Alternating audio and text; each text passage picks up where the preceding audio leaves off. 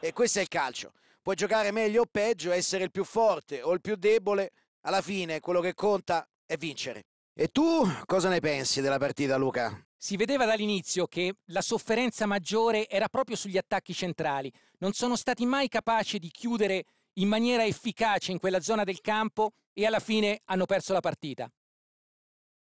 È finito il tempo a nostra disposizione.